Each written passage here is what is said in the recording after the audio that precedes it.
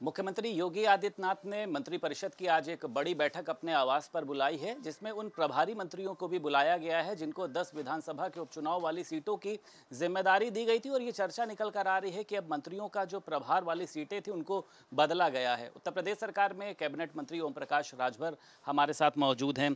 Sir, दस विधानसभा सीटों पर उपचुनाव होना है, सर, और कुछ मंत्रियों की सीटों को भी, सर, बदला गया है। तो क्या, सर, ज़िम्मेदारी मिली है आज?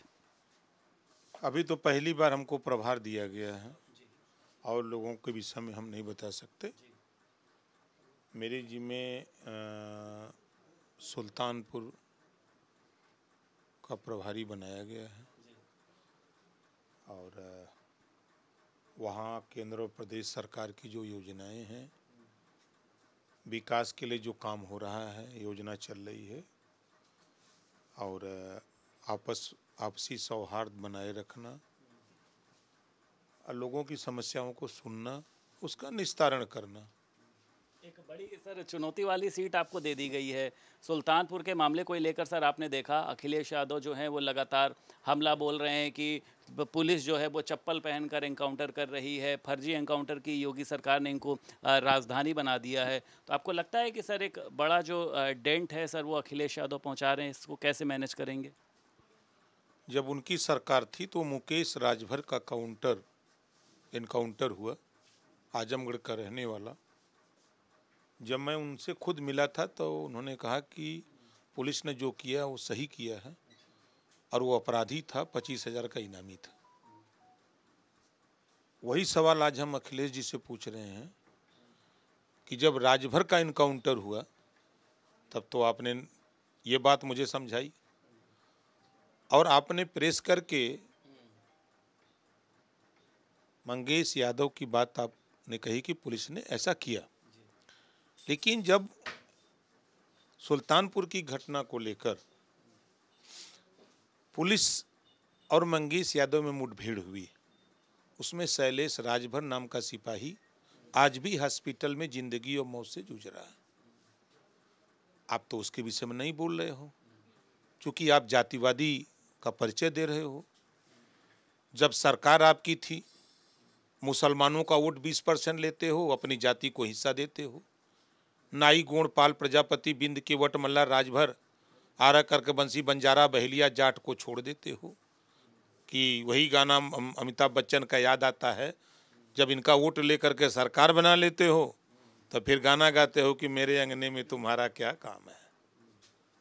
तो आज जिस तरह आप चर्चा कर रहे हो मंगेश यादव को लेकर के ये प्रश्न चिन्ह खड़ा हो रहा है यादव कम्युनिटी पर। अच्छा सर आज अखिलेश यादव ने एक बड़ा हमला सर सीएम योगी पर किया कि माफिया और मठाधीश में कोई अंतर नहीं होता है। तो आपको क्या लग रहा है कि सीएम पर इस तरीके की जो टिप्पणी है सर कितना सही है?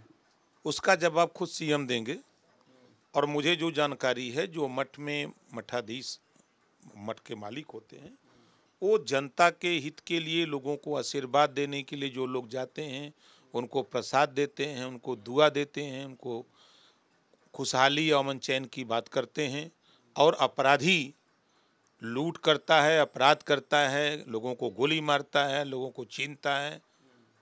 अपराधी का तो ये काम होता है, लेकिन मठाधीश का ये काम नहीं होता है। अब उनकी भाषा में भाई हो सकता है, मेरी भाषा में जो मुझे जानकारी है, ऐसा नहीं है। वो शुद्ध रूप से नाम तो ले रहे हैं मंगेश यादव के। अपराध की दुनिया में अपराधी की कोई जाति नहीं होती। सड़सठ मुसलमान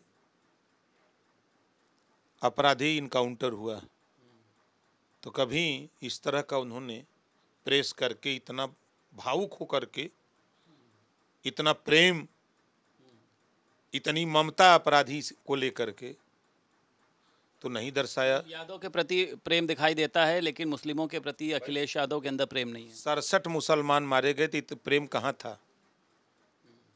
बीस ब्राह्मणों का इनकाउंटर हुआ अपराधी जो ब्राह्मण था तब आपका प्रेम कहाँ था? अट्ठारह ठाकुर मारे गए राजपूत मारे गए तब आपका प्रेम कहाँ था? चौबीस अति पिछड़ा मारा गया इनकाउंटर में अपराध अपराधी मारा गया तब आपका प्रेम कहाँ था? जाट मारा गया सत्रह तो आपका प्रेम कहाँ था?